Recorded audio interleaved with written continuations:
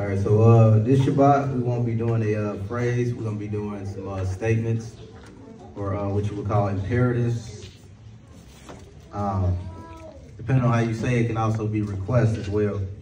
But uh, the first one is please be seated. Please be seated. Uh, in Hebrew, that is babak la shabbat. And that word uh, that you see, I put in the chat as well, so y'all can follow along if y'all want to. But the word uh, Shabbat um, is also used to be seated or to sit. It's the same word as Sabbath, which means to rest. Um, mhm. So this is a, a real short, quick one that uh, we can all remember. Uh, once again, it's a uh, please be seated. I'm gonna let y'all follow along with me. God. Babak Basha, La Shabbat. And once again, that word Shabbat is the same word for Sabbath, which means to rest. Uh, it also means to sit down um, when you put La in front of it as a prefix.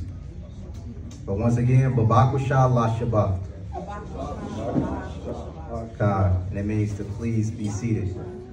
And uh, once again, once again, depending on how you say it, it can be an imperative, which means a uh, command, or it can just be a request. You ask somebody to, you know, take a seat. Um,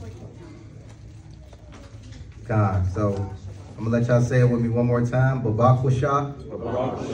La Shabbat. La Shabbat. God. And the second one is the opposite, which means to please stand. Please stand. Once again, Babakwasha. Ta'aimawad. Babakwasha. Ta'aimawad. That means please stand. And that's it. Shalom. Shalom. Shalom.